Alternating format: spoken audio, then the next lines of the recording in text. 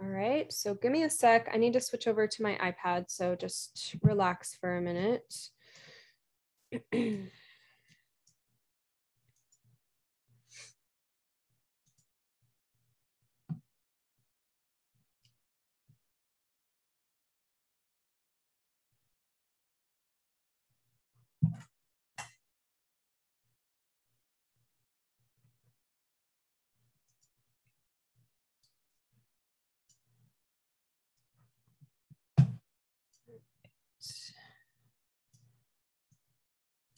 move all my windows around here so I can see you and see my screen. All right. So we're gonna bounce back and forth tonight. Um, kind of what I'll do sometimes with my classes in person is I'll give them something to try themselves. And then I'll say for two minutes, go check in with your neighbors and see if you got the same thing. And then we'll go over it together. Okay. So we're going to try that a little bit where you're drawing on your own paper. We'll go to breakout rooms for like a minute, two minutes to see if you all agree. And then we'll come back together and kind of um, break break things down. Okay.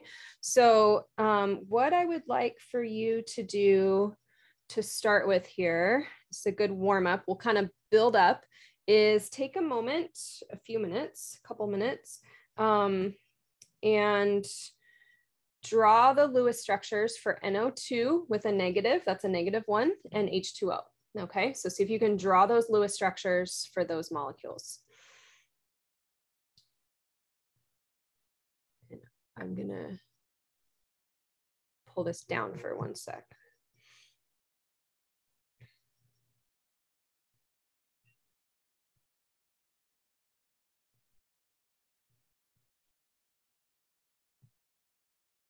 So again, everybody should be drawing these two Lewis structures right now, okay?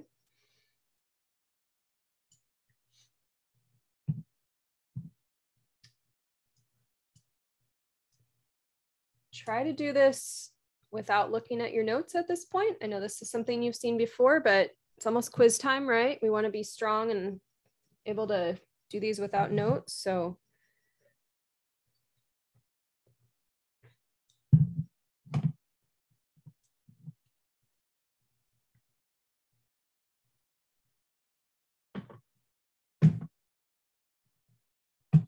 you get stuck, feel free to unmute and ask your question. Um, and then when you're done, if you want to drop in chat that you're done with those, that will help me get a get an idea of who needs more time. So drawing two Lewis structures and then done into chat when you're finished.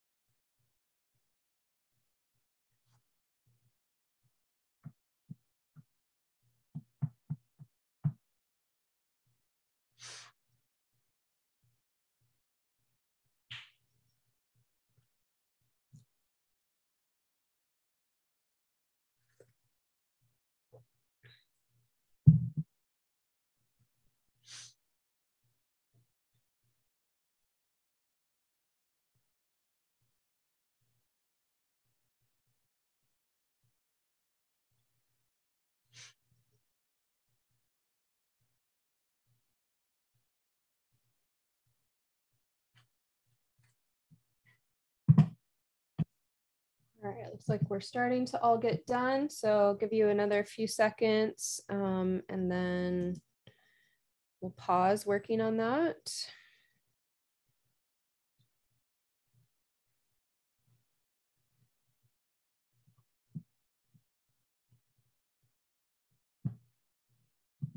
All right. So go ahead and pause wherever you're at and let's work through Lewis structures. I'm going to just do these um, all together here, but then we'll we'll get into harder problems and then I'll have you guys work together a little bit. Okay. So these are, if you want a recipe for your Lewis structures, Um, this is kind of my recipe. I guess we could put numbers on them if you want. This is the steps that I would go through as I'm doing Lewis structures. Okay, just to kind of summarize what you've been learning. So I want to arrange my atoms with symmetry to start with. So in NO2 negative, um, and let's use voices, not chat here, preferably for a few minutes. Um, what element is going to be my middle element when I set this up? N. N. N. N. Good. Usually, whatever comes first. Yes, I heard a bunch of echoes there. That's awesome. Um, so whatever comes first. Ah. Oh dear. Okay, hang on whatever comes first in your formula um, is going to go in the middle. And that would be true even if I gave you um, like a weird combination like fake elements, right? BX, CX2. Whatever's first is going to be what um, we put in the middle. Okay. So whether it's real or, or fake weird stuff. Okay. And then I'm going to have symmetry. So symmetry just means like, right, it's sameness on either side. And then the next thing I want to do is valence electrons. So can I get one voice, um, someone chime in and talk to us for a couple minutes about how many valence electrons each of these elements have? And I'd love to hear from as many of you as possible tonight. It makes you stick in my head and I think it's nice for everybody. So um, if I can get a volunteer to talk to us about electrons and maybe some bonds here. So I N uh, has five and oxygen has six, right? Yeah, perfect. Okay, so I'm going to slow you slow you down. Um, so nitrogen has five valence electrons. And now that you've done more of these, you can start to kind of have the mindset to leave the unpaired electrons in the middle of the molecule because that's where our bonds usually form, right? Is everybody good with nitrogen having five electrons? This is a safe space to be like, back up. Wait, I don't understand. Okay, and then oxygen, I think was that Matt that was helping us. Um, Oxygen has six valence electrons. So make sure you have four unpaired and then you pair two of them up. And I'm leaving the unpaired electrons kind of facing towards the middle. So that's my next task done. Um, Matt, if I can stay with you to be my helper here, now I see that I should add a charge. Does that um, affect me in this Lewis structure? I think I might have done it wrong, so I'm, I'm unsure. Okay, can we can we work together and guess? Um, so do you see a charge in the compound that you've been given? Um, I'm coloring it for you to try to emphasize it. See how it says NO2 and then it had a negative by it? See this negative up here? So NO2, and then that negative means I have a charge. So oh, negative charge? Yeah. So do you know what that means in terms of electrons for my structure? Um, can I get um phone a friend? Someone else? Add yeah, go ahead, Michael. I think you guys are both saying the same thing. An extra electron? Yeah. So if I have a negative one charge, that means I get a bonus negative, which is a bonus electron. Okay. We always want to put that on the highest electronegativity element or if you aren't sure about that, at least go to the outside of the molecule. Okay. So here I can go on either one of my oxygens. I'm just going to go to the left for no good reason, but you want to add that one electron here because of the negative one charge. Is everybody good on that? Adding that electron? Okay. Now I want to draw bonds. So Matt, are you up for helping us on connecting some bonds here? Um, sorry, before we move on. Yes by that is that when we do the little X? Yes. So okay. I just did a dot, but I think when I taught it on the videos for me and teaching it, sometimes it helps to be like, here's the special electron, right? And that could go on either side too. So it could have gone over here too. Um, thank you, Nancy. Yeah, y'all feel free to interrupt me all night long. Okay. Um, Matt, are you up for more or do you want me to have someone else help us with bonding here? Um have someone else if that's cool. Okay, yeah, that's cool. Can someone else help us out with bonding? So I think that the nitrogen and the oxygen can share a bond because the two on the outer side, yeah. And then the other ones can share a bond as well. Good. And then the ones underneath, they equal to, so we can put another bond there. Perfect and then I'm stuck. Okay. So Okay. let's Wouldn't we- pause. Oh, go ahead. Go ahead. Wouldn't we do the same to the other side as well? Just Mm, bring down, bring down one to the bottom. good question. So let me undo that last bond that Tiani talked us through there. So this was one of the things you guys floated in your um, discussion board questions. You're like, when do I put the two lines and when do I not? When do I put a double bond and when do I not? That's kind of what you're thinking about too, right, Trey? Like, should I be adding extras here? So Tiani, let me go back to your wisdom here. Okay, you only gave us one double bond. This is a double bond. How did you know to put that double bond there? Why did you choose that? Can you say some words about that? Um, just because they both are basically I'm how I pictured it, like they're both in the same place so they can be connected together just just because they're both, you know, on the outside. But the one that's underneath the O, like the N already shared it with the other oxygen. So I was like, how how do we even what do we do with that? You know, because it's not like you just leave it there or anything. But that's how I did the uh, other oxygen and nitrogen. Okay, good. So I think kind of to to highlight what Tiani is saying is Tiani's noticing Tiani's probably a good friend. Tiani's like, oh, you look lonely and you look lonely. So let's hang out, right? Um, so that's how we pick Trey which electrons to connect with each other. If you look over here, because of that extra electron we added on, this is the same as saying, oops, same as saying that there's two electrons here. So if you have a pair, then you don't form a bond with those electrons that are already in a pair. So that's why we only form the double bond on the one side and not on the other, because it's only the, the lonely electrons that we end up forming a second bond with.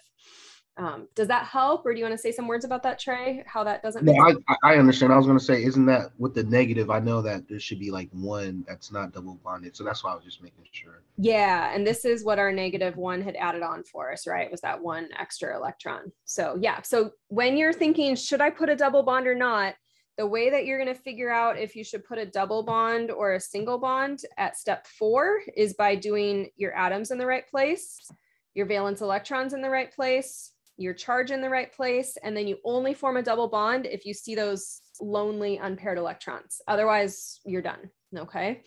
Um, any questions on that before we go to our last step five here? All right, add brackets. Do I need brackets on this Lewis structure? Yes, you do, I do. Why? How do I know that? because it was a negative. Perfect. So brackets, and then I put whatever that charge was there. Okay. Um, questions on that? So you all had a fake problem last week on your um, quiz, right? And there were some struggles on those. I hope you've been able to practice and spend some good hours um, practicing, watching more videos, um, asking me questions. Um, but hopefully, if you see something similar to this, but with say fake elements this week, you know what to do. Okay. Um, let's talk about water real quick. So we can take water through the same process, right? And water, hopefully you've got that memorized by now, but same process, atoms with symmetry. So O with my H's. Valence electrons. How many valence electrons does hydrogen have?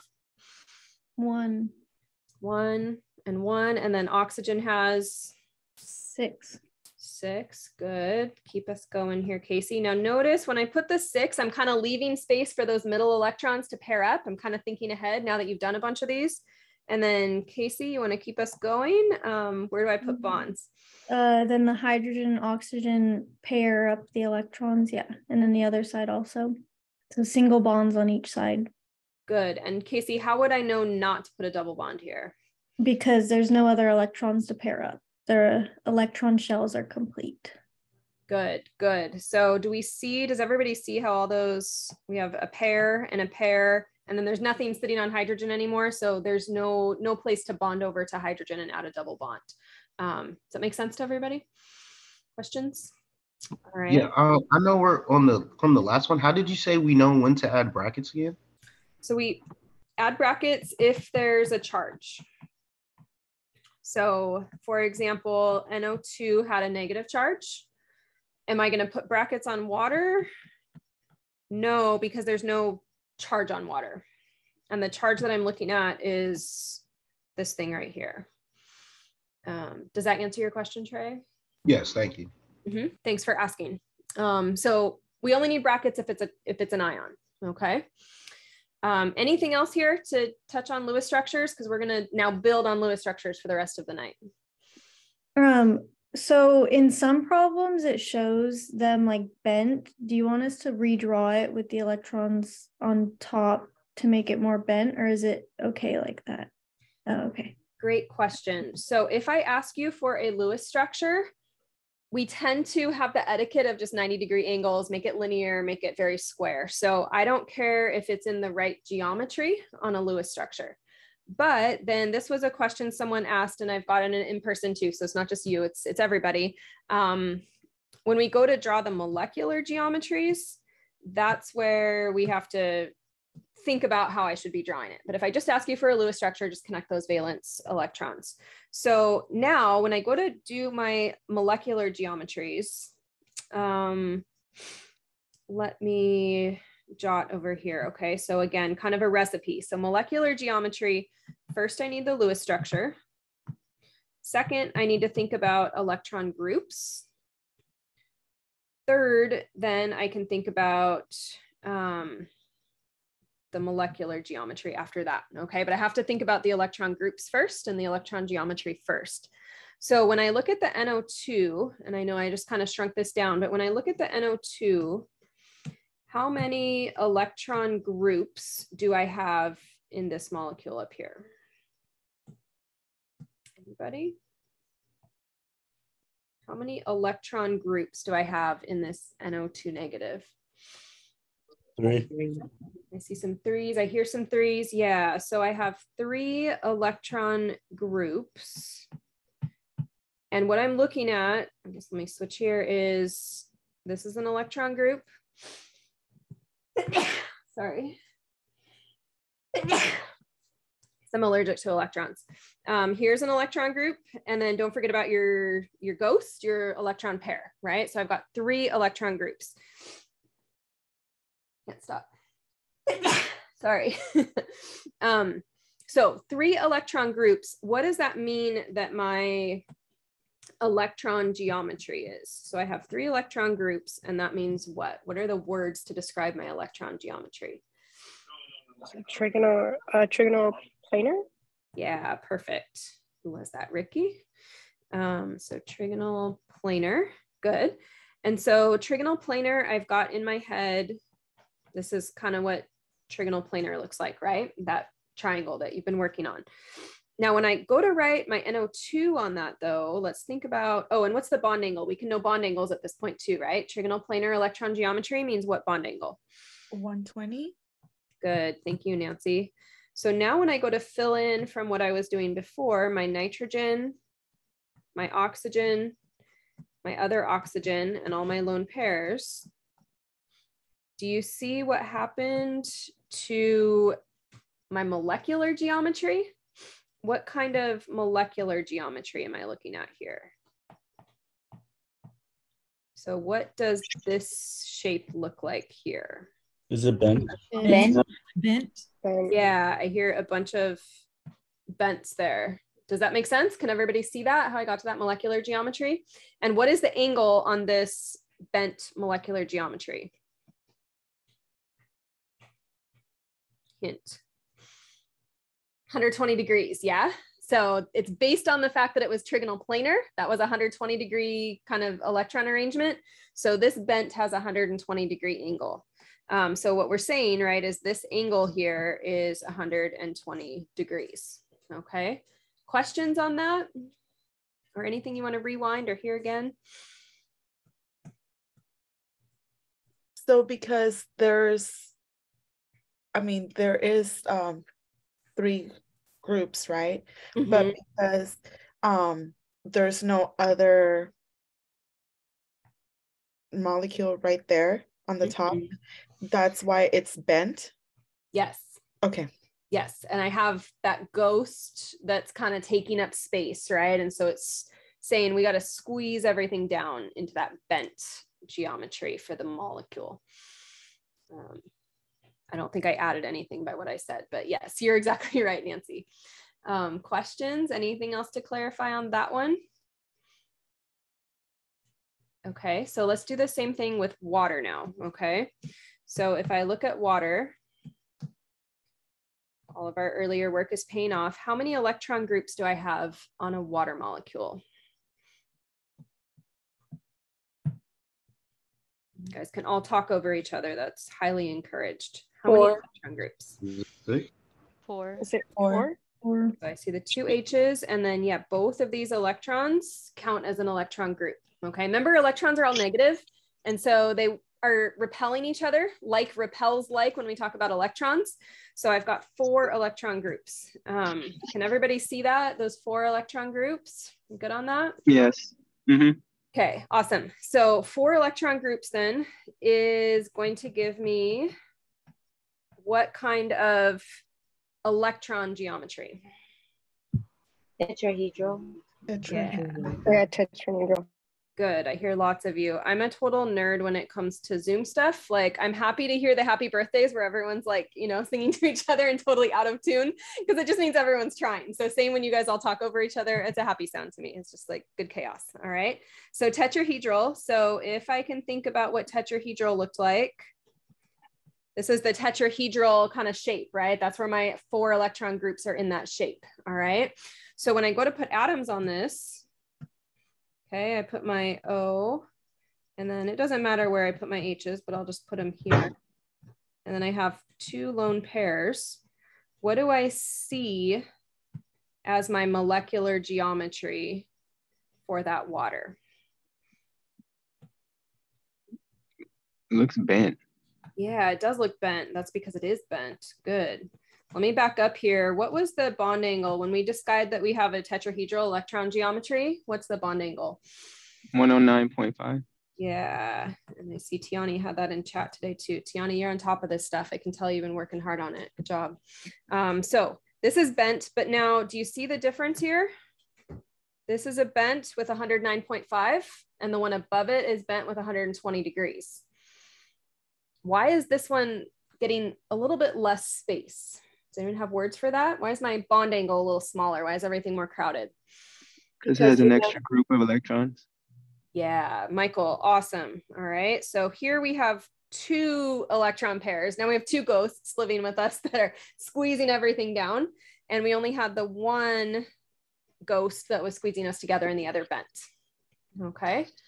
Um, so we just kind of thought through electron geometry and then molecular geometry and the bond angles, and we can see the difference in the two bent um, molecular geometries. Questions? Anything to throw out, ask, clarify? Professor, I have a question. When do you know when to put the little triangle or the little line?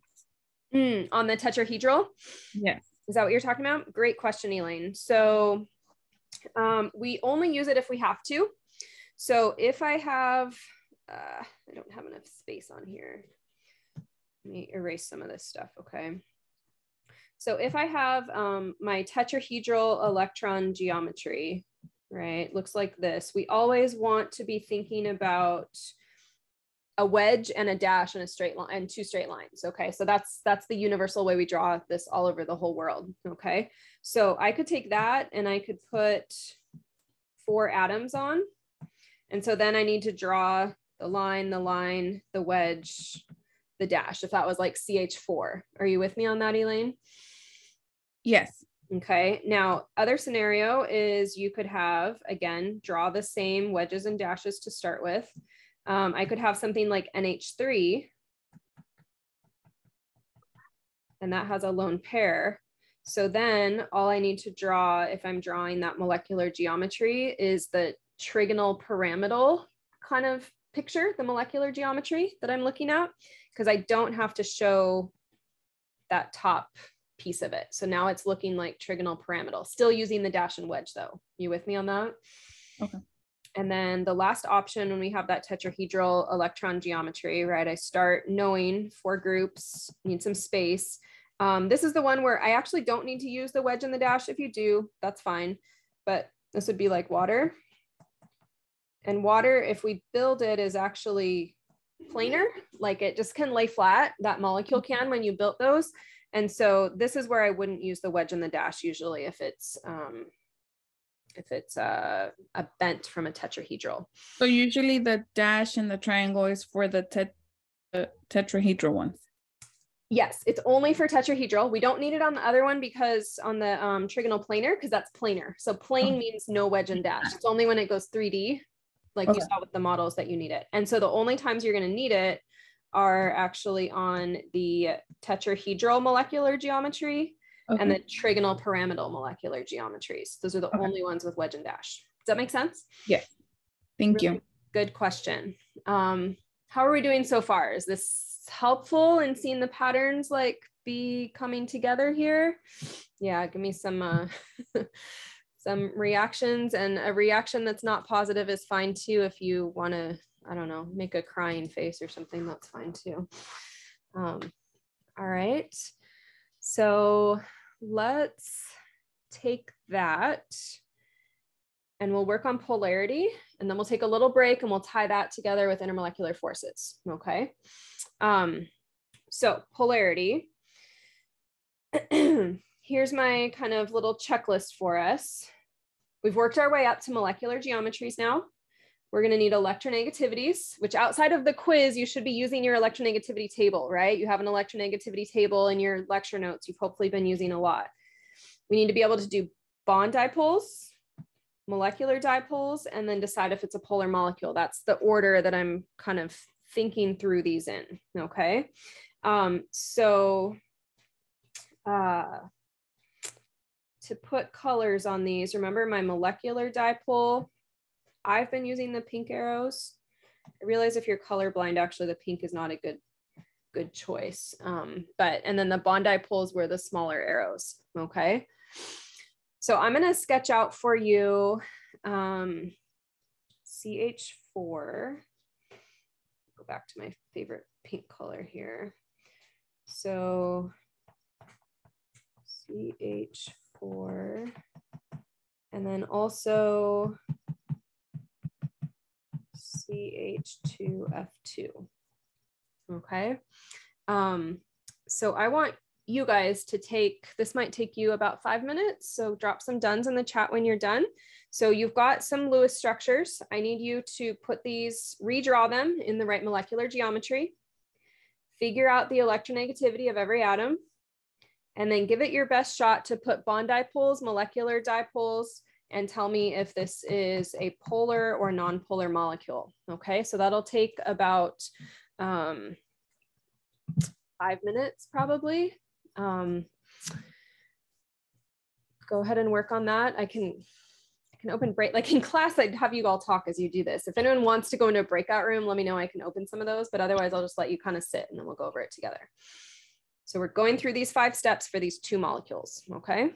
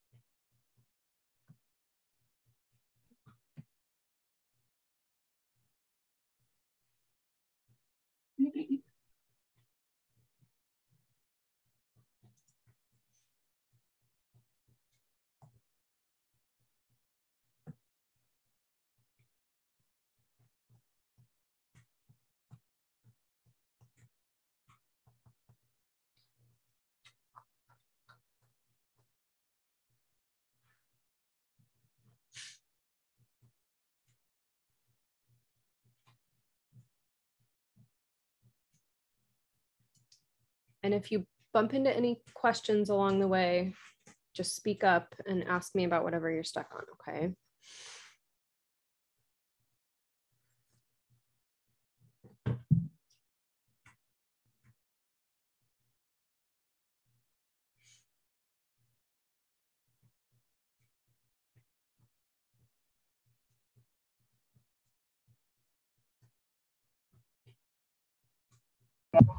I remember you saying in the video that the C and the H is significant for something. But I'm I'm trying to remember because I remember this one. But I'm trying to remember exactly what you said about the C and the H. Does anyone remember? I Tiana? remember. Go ahead. Was someone saying something? Carbon's Oh. like six, right? Say that again, Trey. Carbon has six. Like Carbon. electrons? It does. How about carbon with hydrogen? There's something Tiani's trying to remember because that's going to be a bond we see a lot all semester. Anyone remember? It's the automatic hydrogen bond, I think it is. Mm, no. It's non-polar. Yes. Yes. Oh, okay. You were half right. It's automatic. Every time you see C and H, you're thinking automatically non-polar. Non. That's what you're trying to remember there, Tiani. And what does that mean, Tiani, for dipoles? If it's an automatic non-polar, do I put a bond dipole on it? No. Never.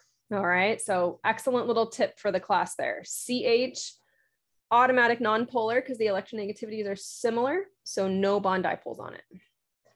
Thank you, Tiani, for that little commercial break. So keep working. Um, drop in chat once you guys are done, um, but no, no rush. And just remember, you're an awesome human being, whether you can make sense of dipoles or not, but we're hopefully getting better at that too.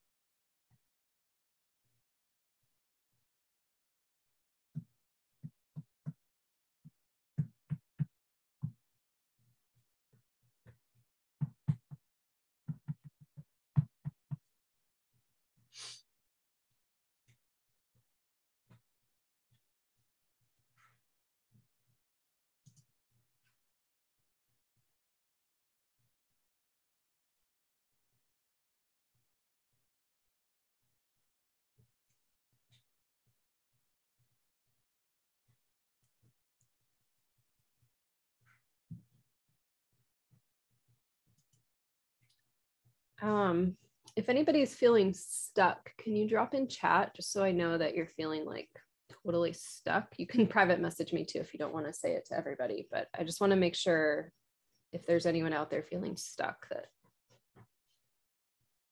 we can help you get unstuck.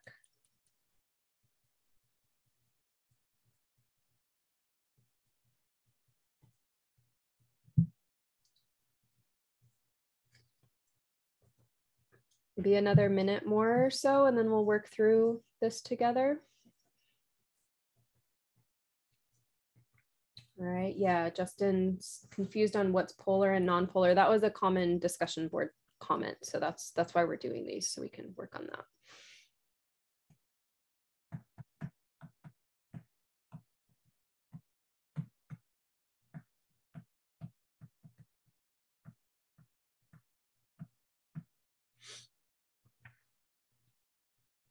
About 30 more seconds and then we'll check in. Um, thank you for the messages too from a couple of you. So you're, you're all getting to the point where you have to draw those arrows now, the dipoles, right? And that might be where you're like, ah, what do I do?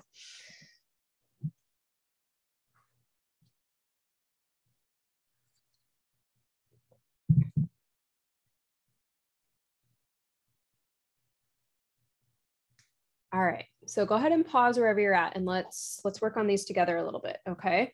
So I drew the molecular geometries. Hopefully you're able to do that. That's what we were just working on. So four electron groups. So we need to draw a tetrahedral electron ge or a molecular geometry. Is everybody with me on that? We're good on that, I think, right?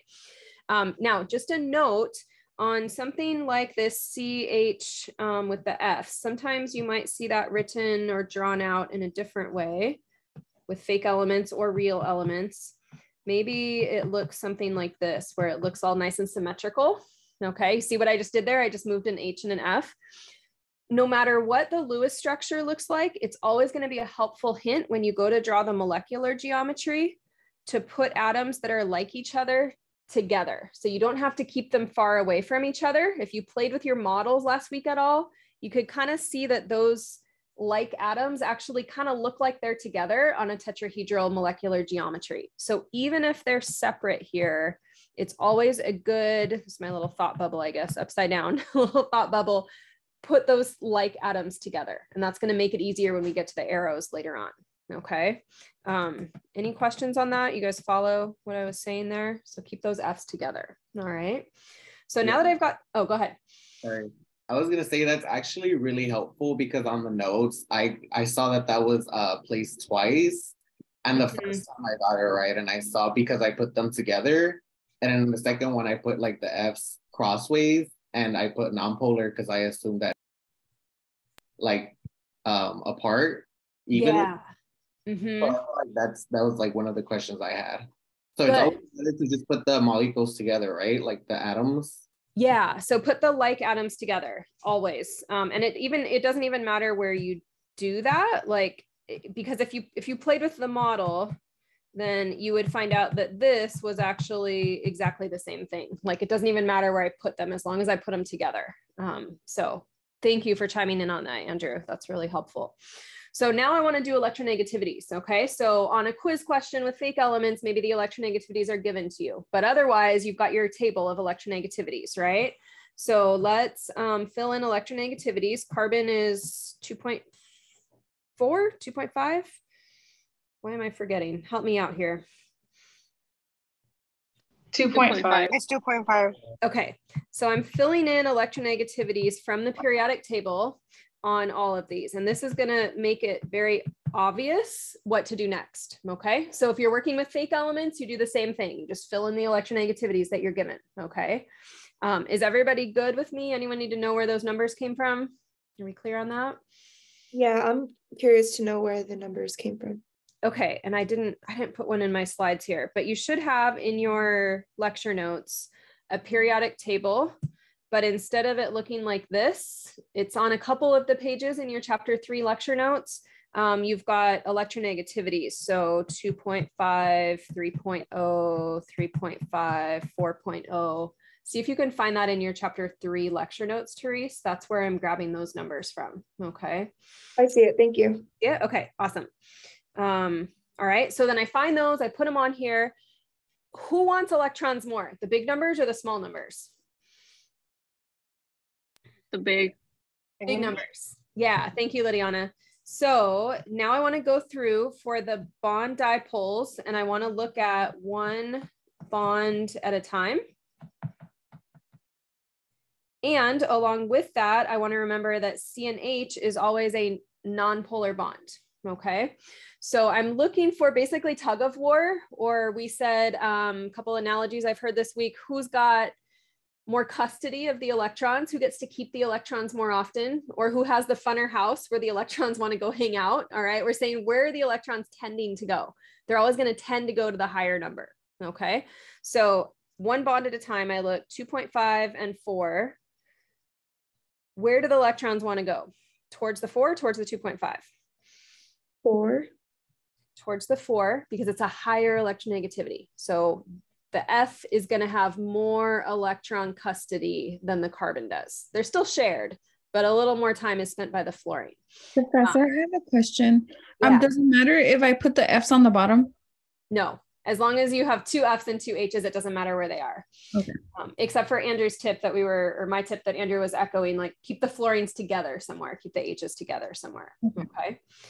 So as I'm evaluating these bond dipoles, let's just remember the ranges. So this was in your lecture note, zero to 0.4, we said was non-polar bonds. If I have 0.5 to 1.9, that's a polar bond. And that's where I'm going to say, hey, the electrons are getting unevenly shared. They're moving towards something else. And then 2.0 and higher, that was an ionic bond. Okay. So with my bond dipoles, this is the mindset that we want to have, kind of our, our cutoffs. All right. So here 4.0 minus 2.5 was 1.5. So that's why it's a polar bond. That's why the electrons are getting tugged up to the fluorine more. Everybody tracking here? Okay, now I go to the next bond, C to F. Again, I say, oh, that's a difference of 1.5. So left or right of the bond, it doesn't matter, but I'm going to say electrons are getting tugged towards the fluorine. Okay, in that bond, remember there's two electrons here. So we're saying those electrons are getting tugged kind of in the fluorine direction. Does that make sense to everybody? What those arrows are meaning there? Okay, when I get to C and H, immediately, well, I can subtract. I can go 2.5 minus 2.1, and that tells me it's a non-polar bond, essentially twins in a like perfect even sharing or perfect even tug of war that nobody can win.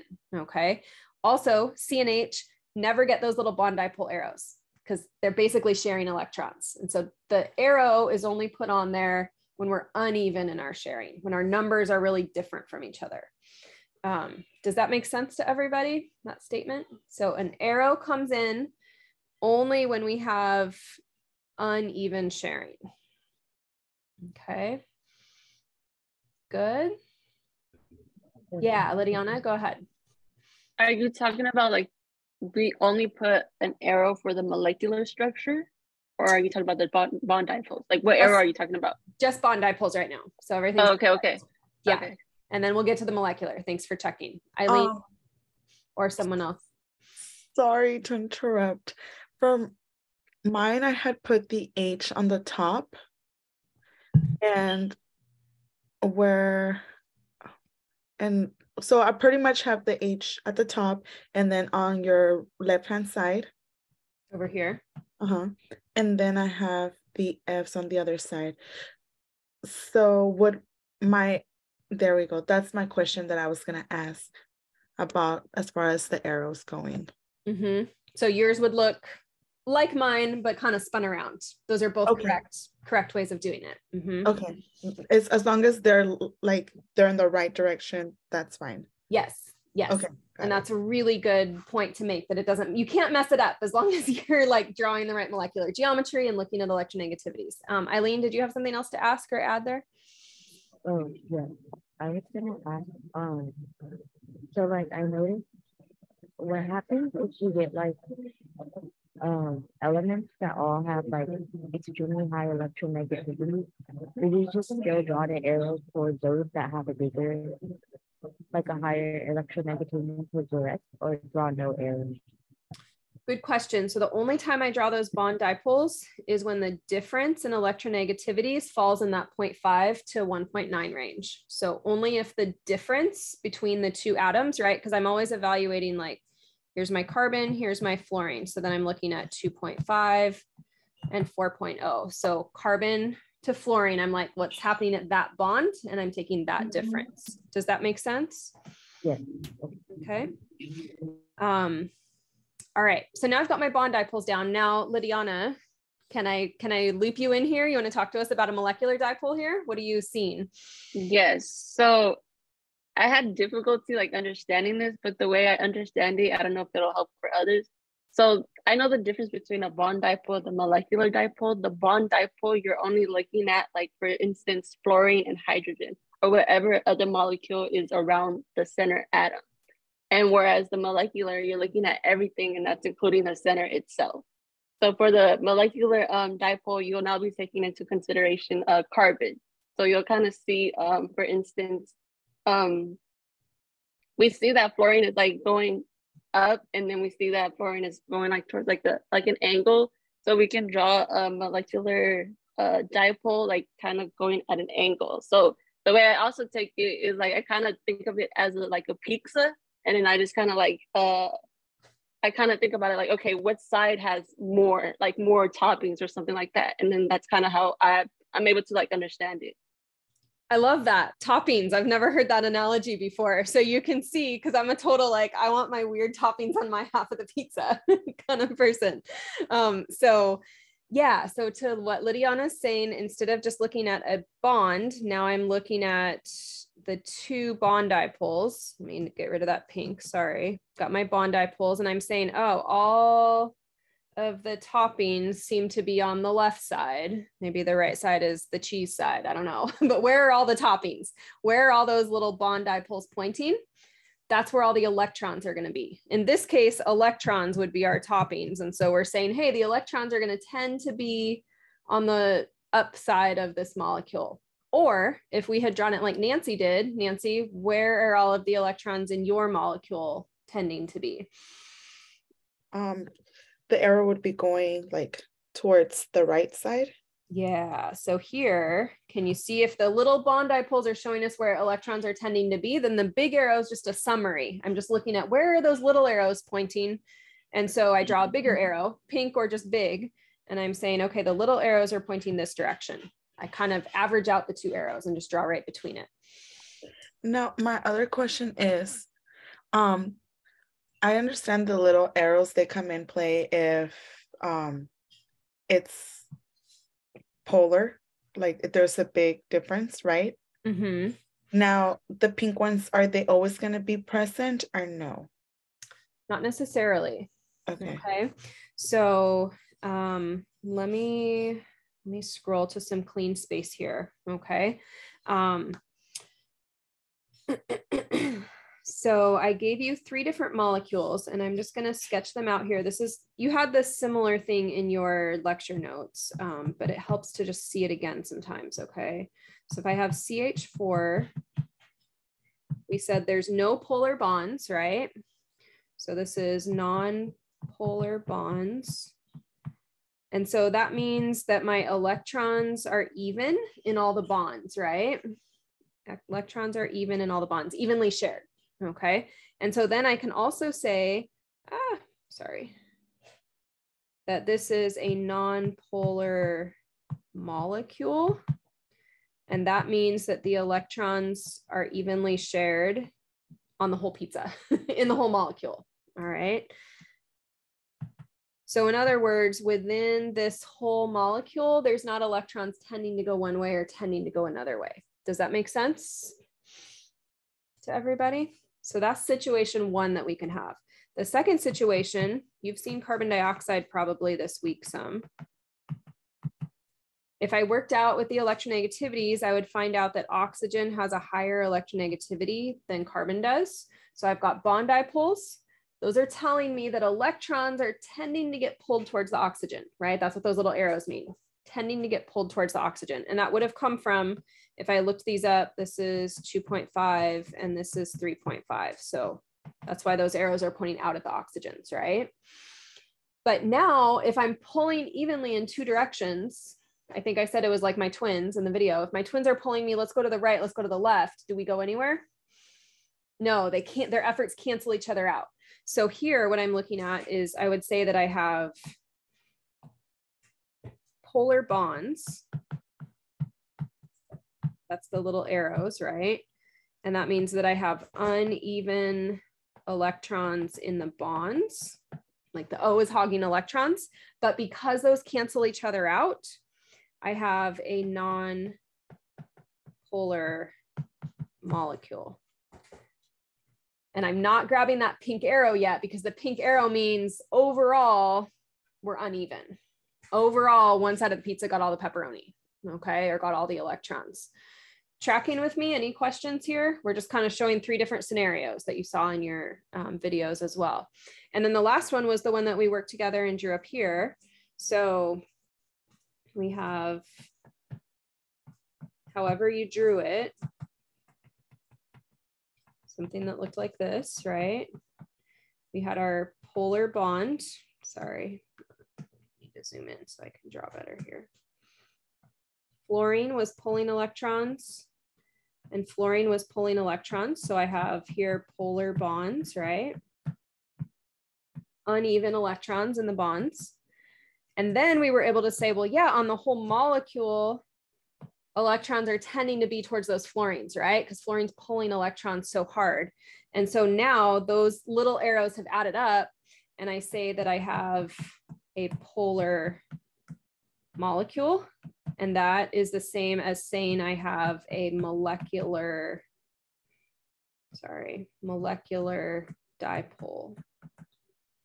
And so that means in this whole molecule, my electrons are going to tend to be on the fluorine side of the molecule more than they hang out over on the hydrogen side of the molecule.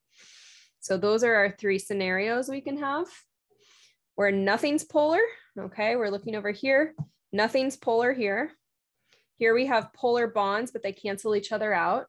And here we have polar bonds and they add up and push all those electrons to one side or the other. Those are the only three scenarios you're ever going to see. Professor? Yeah, go ahead, Elaine. So for the carbon and hydrogen ones, so that one you wouldn't put no dipole arrows or nothing? Nothing at So all. Say like that. Mm-hmm. Mm-hmm. And a little shortcut back to what Tiani was helping us focus in on earlier is no matter how many C's and H's there are, this is going to help us with intermolecular forces. You saw I gave you like some big stuff, like all of a sudden I'd be like C6, H12, and you might have been like, no, I don't want that many numbers, right? But as soon as I see C's and H's, what am I always thinking? Polar or non-polar? Non-polar. Non-polar. non-polar. So no matter how big the molecule is, I'm always having that mindset that Elaine, you were giving us where I'm like, I don't care how big it is. There's no uneven sharing. Everything's going to be even when it's C's and H's. It's like a perfect commune where everyone just shares perfectly. Um, does that help? Make sense? Yes, thank you. Questions from anyone else? Yeah, Lydiana, go ahead. Is it safe to say that we can always assume, um, like when we see like um, I guess a compound and it has fluorine, that it'll always be uh, polar? Mm, almost always. Okay. Not quite always. Let me zoom out just a little bit here. So check this out. If I have,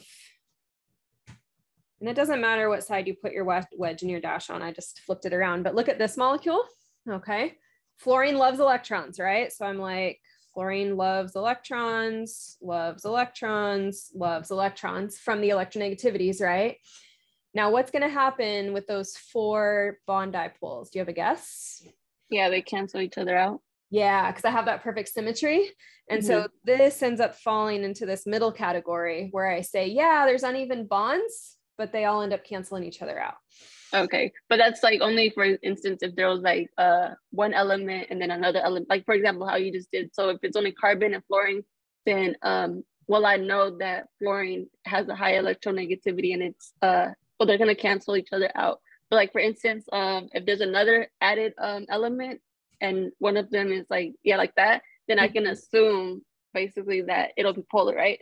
Yes. And that's Okay. where those assumptions, you're getting the hang of it. That's where those assumptions speed up your intermolecular forces like work Okay. later on, right? So look, here's why. Fluorine wants electrons, wants electrons, wants electrons. C and H, we never draw a bond dipole, right? Because they're sharing evenly. And so now I'm saying, well, which side of the pizza gets the toppings? I'm going to beat that metaphor to the ground here. All right. So I'm like, oh, the top and bottom arrows kind of seem to cancel each other out. They don't entirely, but I'm saying over towards the left side, the fluorine side of the molecule is where the electrons are going to hang out. And so this, therefore, as soon as I can draw that big molecular dipole, I know that it's a polar molecule. So it's an uneven electron molecule. All right. Um, so yeah, really good summarizing of that pattern. Um, fluorine's a giveaway unless you've got four of them where they all cancel each other out. Okay. It's like you could beat everyone at arm wrestling until you arm wrestle all the guys on your football team or all the girls on your football team. You're playing whatever. And then you're like, ah, we're all super strong. So nobody's gonna win here because they're they're all pulling in that CF4. All right. Questions on that? All right. Let's take less than five minutes if you guys can handle it because I want to get our, our best use of our time. So let's take like three minutes, okay? Um, and then we'll come back and work on intermolecular forces so you can Uh, see some good practice. Can you scroll back to the uh, right there? I was like making my Yeah. own little side notes. Thank you. Is that too small for you? You got it? That's fine. Thanks. Okay. All right. I'll see y'all back in three minutes, okay?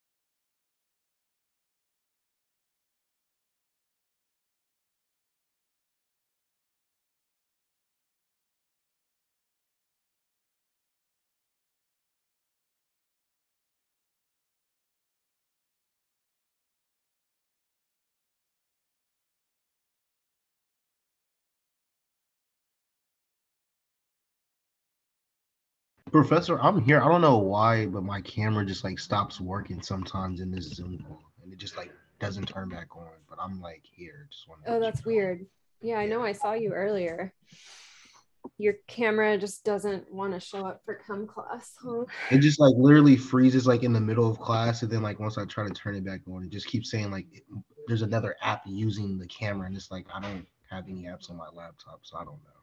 Oh, weird. All right, no problem. You just keep talking and engaging. All right. Um, thanks for the heads up. All right, we'll start in just a second here. So if you guys can all find your way back to your desks, cameras, whatever. Um,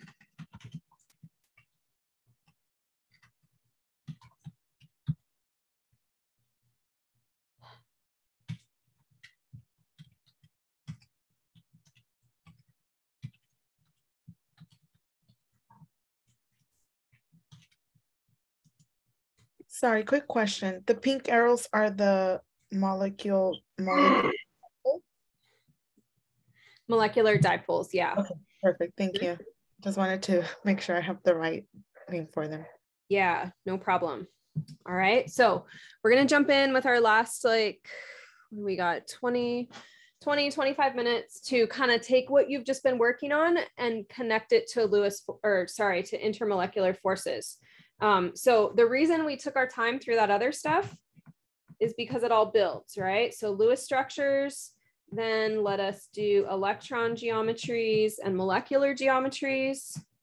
Those let us figure out if our molecule is polar. And then from there, I can do IMFs. Okay. So in order to do the intermolecular force problems, you have to be able to tell, ah, that's a polar molecule or that's a non-polar molecule. All right. Um, so that's why what we've done so far is this and this and this. And now we're going to talk about intermolecular forces. So just to remind you, in this chapter so far, we have three types of intermolecular forces, right? We have the strongest intermolecular forces, which are hydrogen bonds. And those are always going to have an NH, OH, or FH donor with an O. Oops, I wrote that wrong. Um, and you already have this in your notes. So don't feel like, like I'm not going to be judging you on what you turn in tonight, that you got every last thing I scribbled down. Like you already have a lot of this. I'm just kind of saying it so you see it again. And then we have to have an O, N, or F acceptor. Okay, so that was our strongest type of hydrogen or star, strongest type of intermolecular force. What's the next one down? What do you guys remember? Dipole, dipole. Dipoles. Yeah, good. I hear dipole, dipole. And we want to have the mindset of this is where those molecular dipoles that I was just working on. So when I'm able to draw these molecular dipoles, those are the same dipoles I'm talking about when I talk about a dipole dipole attraction. Okay. So same dipoles that we were just practicing with. And just to clarify with the dipole, it's when the bigger number is like taking away from the smaller number, right? Yeah, but not so on the by the time we get to the pink arrows, the overall, we're not looking at just the big number taking from the small number because the num the numbers, the electronegativities we use for the bond dipoles. But then with the pink arrow, we're summarizing all of those little takeaways and we're saying electrons are getting taken to this side of the molecule or taken to that side of the molecule. Understand? Does that make sense? Yeah. So it is tied to the electronegativities, but it's also just kind of summarizing like where are all the big number elements, where are all the electronegative elements. All right. Um, and then with what's our third third type of um, IMF? Anybody? Dispersion. Yeah, good. Okay, so we've got London dispersion forces. And those are going to be the weakest of the three, right? So we've got strong and weak is one way to rank these. Um, now, I want to think about, get rid of this arrow here. Okay. Um, which of these IMFs are present or, okay, let me back up. If I have a pink arrow here, what does that mean about my molecule? Is it polar or non-polar? Polar. Polar. Good. So if I have a polar molecule, I can have a dipole-dipole attraction, okay? And then hydrogen bonding is actually just a super extreme version of dipole-dipole. So if I've got polar molecules, then I'm gonna have dipole-dipole attractions and I might have hydrogen bonding too, if I have the right NH, OH, or FH present in the molecule, okay? Um, dispersion forces are also true for polar, but I'm always looking for the strongest force. That's what's going to have the biggest impact. Okay. So we always with intermolecular forces want to think, am I polar? And if I'm polar, do I have that NH, OH, or FH present? Because then I would have hydrogen bonds. All right. Now, in terms of drawing, when I'm drawing my dipole dipole attractions, they kind of line up like little magnets there. Um, hang on a second. uh, when I'm drawing hydrogen bonds, then we use those partial charges that you saw me using for the first time in this chapter. So this is a partially positive and a partially negative. And then in my next water over, I'll have a partially negative and a partially positive. And if we could track back to electronegativity numbers, that's where those partials come from. Um, because if I worked out where the arrows point, the oxygen is more electronegative. And so that gives it a partial negative charge. And the hydrogen is more or a smaller number. And so it's going to end up being partially positive to match like what we saw on that positive end of the tail. So when we draw our hydrogen bonding, we end up with those partial charges and then our dashes to show the attraction. We draw dipole dipole, we just line up the dipoles and we say, hey, the positive end is attracted to the negative end. So those are kind of the two types of diagrams that you're gonna see and I've drawn them in the lecture notes. Um, if I draw it in the lecture notes, I might ask you to draw it in upload, right? Um, questions on the foundations here before we go use this? How about non-polar? Where are my non-polar molecules going to fall in these um, intermolecular forces? Uh, dispersion. Yeah.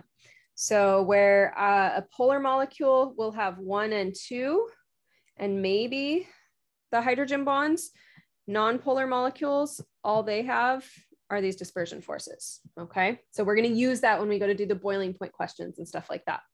All right. Good questions. All right, so here's a couple questions that you guys submitted. Um, zoom in here, okay. So sorting these two groups of molecules from lowest to highest boiling point, okay. So again, we've kind of been doing little recipes all night. And as I'm making these recipes, like think about making your own little recipes as you study, right? Like put things in order, what comes first, what comes second, make a pattern for yourself. So first I need to know about the polarity. Second, I can think about strong and weak IMFs. And then if I have a tie in those, then I can also think about size, okay? And with those, if I'm thinking about high boiling points, or I'm thinking about low boiling points, um, what kind of intermolecular forces, it's messy, what kind of intermolecular forces am I going to have if I have a high boiling point? Strong IMFs or weak IMFs? Anybody? So high boiling point means it's hard to pull those molecules apart. It's hard to boil this substance. Strong. So that means strong. Good, Lucretia. So these are going to be strong IMFs. And then the opposite of that, if I have low boiling points, that means it's easy to pull the molecules apart. So what does that mean for IMFs? Weak weak. Good. Does everybody track with that pattern? That was something you saw in your lecture notes. Um, or we could say this another way. We could say that I have many, ah, many IMFs versus less IMFs. Okay. Um, what about size? How does size influence intermolecular forces? Anybody remember that from your lecture notes? Oh, the bigger that they are, the higher boiling point, and the lower they'll they have a lower boiling point. Yeah, awesome. Thank you. I didn't see, is that Carmen? Yes. Thank you, Carmen. Um, so bigger size, smaller size. Okay, so those are our trends. So if we know our trends and we have our little recipe, now we can figure out any boiling point problem. Okay, um, so first thing is think about polarity. So let's look at this first problem here. Okay, is HCl a polar molecule? Do we have an idea? How could we how could we think about that?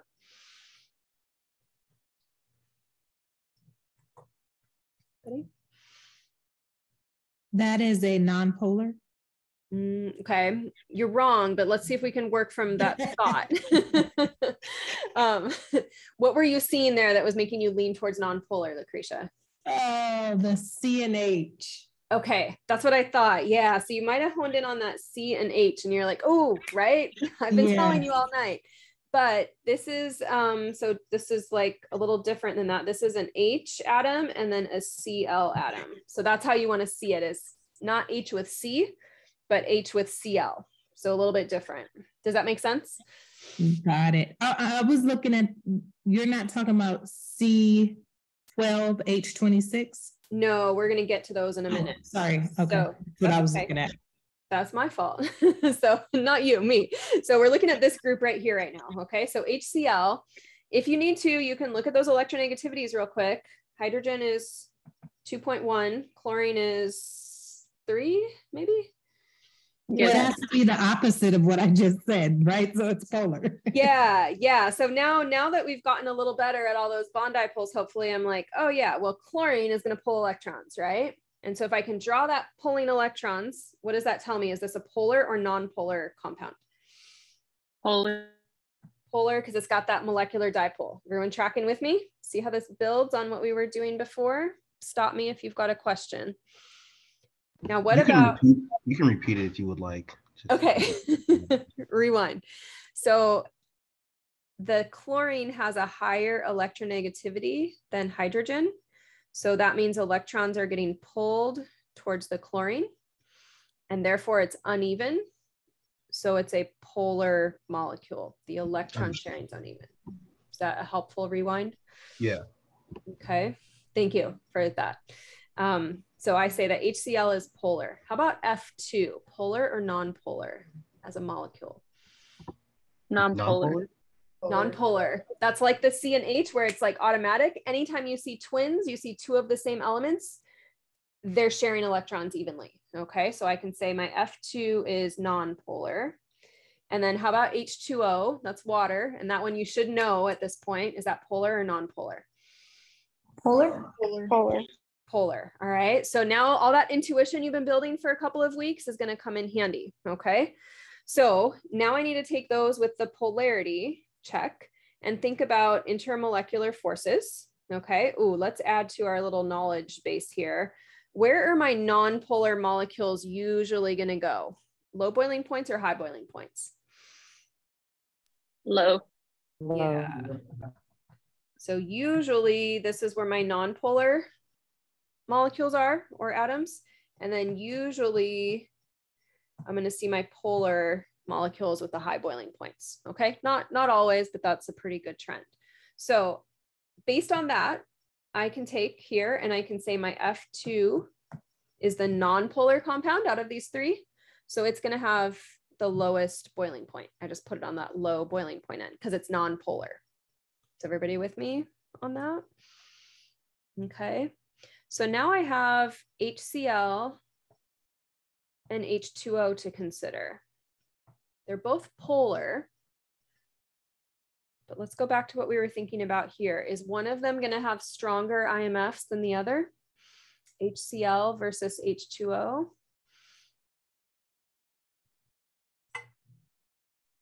Yes. Wouldn't H2O have a hydrogen bond? Yes. Ding, ding, ding. Good job, Carmen. And how about HCl? HCl has an H in it too, Carmen. So why is HCl not hydrogen bonding?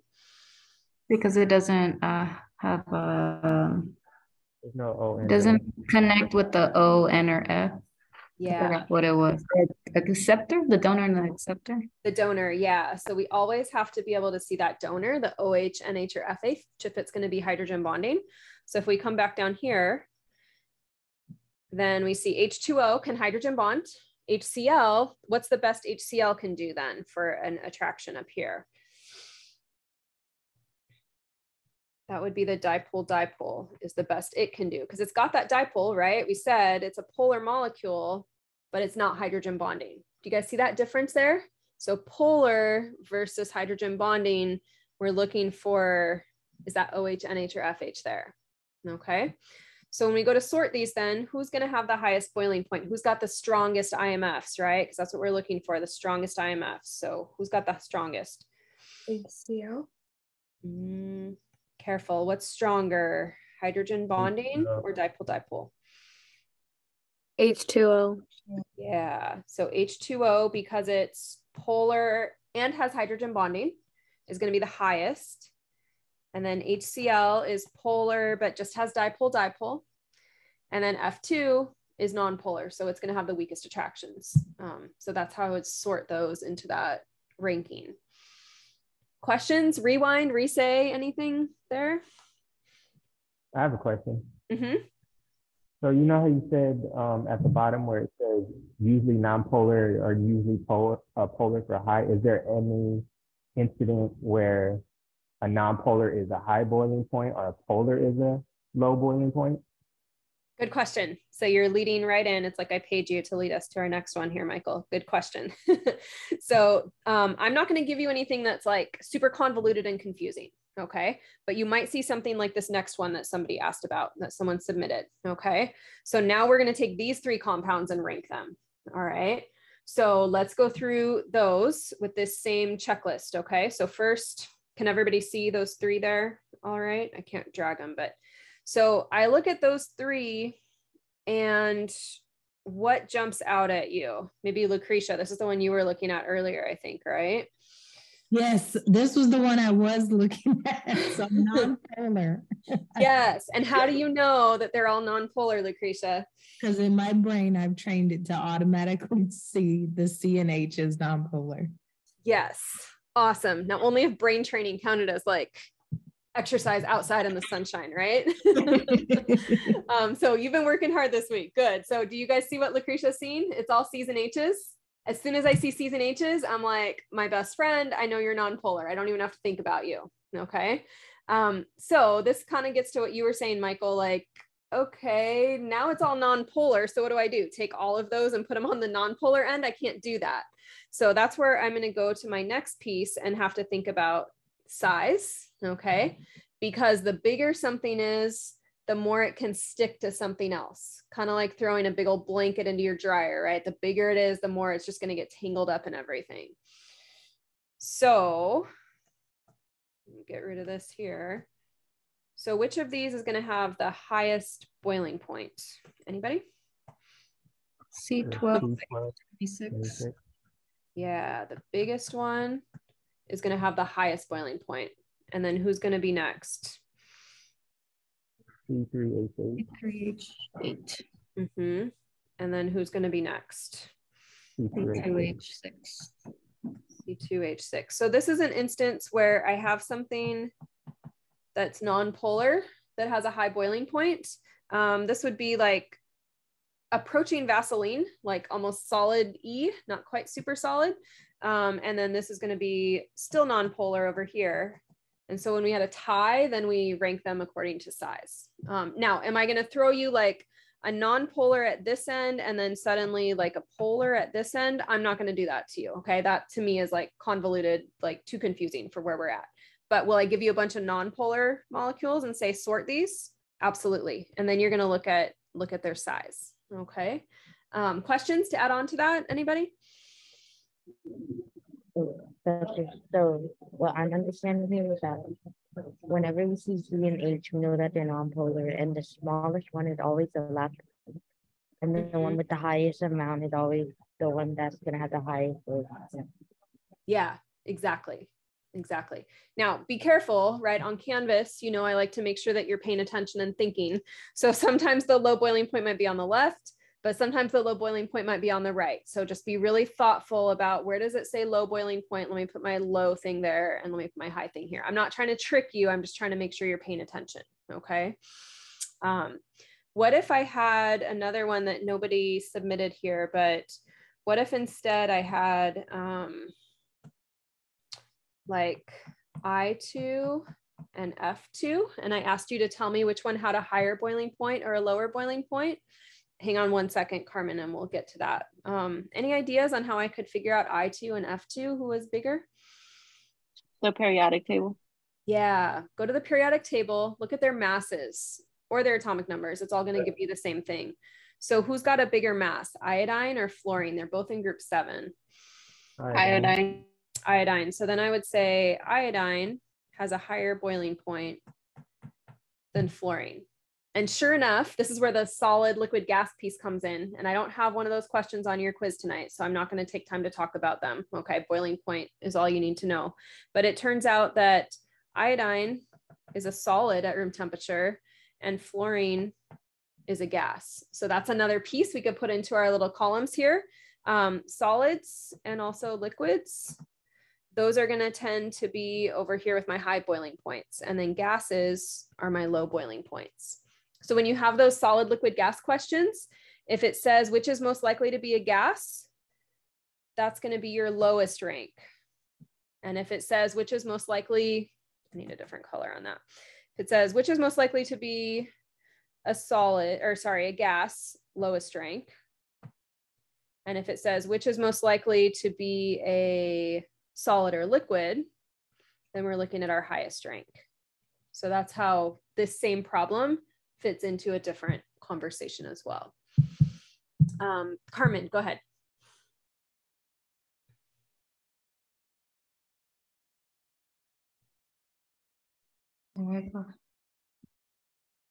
Okay. Uh, so now I have another question with that. So a solid would be the middle rank? No, so solid and liquid go together. Solid and liquid are both, if I think about how the atoms are arranged, the atoms are really close, whether you're a solid or a liquid. So solid and liquid just means you're really high. You have a really high melting point or boiling point. Okay.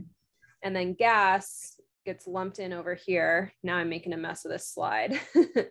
but gases, the particles are really far apart. So they're easy to separate and those will be really low boiling points. Okay. And my other question for C and H, it's nonpolar only when it's those two together, right? It's and there's another one into there like CHF, then that's so it's solely only when it's C and H together. Yes. And that was what I forget who it was now. I think Lydiana was looking for that trend earlier. So if you see something CH3F, now you're building some intuition. You're like, oh, F loves electrons. So even without taking all the time to go through all those steps, I know that that's going to be a polar molecule because I'm okay. sitting here nice and non-polar nice and non-polar till fluorine comes along and grabs all those electrons. So then I know that's a polar compound. Okay. Thank all right. Mm-hmm. Yeah, good question, Carmen. Um, any other final pieces to pull together here? Um, is there a scenario where something could have a molecular dipole but no um, bond dipole? No, there's not. Let's go back and look here because the only way to have a molecular dipole is to add up the little bond dipoles. A molecular dipole is saying, where do the bond dipoles head to? And so if you don't have bond dipoles, you can't have a molecular dipole to summarize them. That make sense, Casey? Yeah, thank you. Mm -hmm. um, anything else? We covered a lot, right? We started with Lewis structures, kind of refreshed those looked at polarity, refreshed that, and then took it to intermolecular forces. Um, when you go to take your quiz, don't get bogged down on one problem, right? Like a good test taker, try all of the problems, come back to the one that scares you the most or feels hard, or you're like, ah, I never quite got to that. But make sure you give yourself a shot on everything um, and get some partial credit on things you can draw too. Okay. Um, so I want to I'm gonna stop sharing here, okay?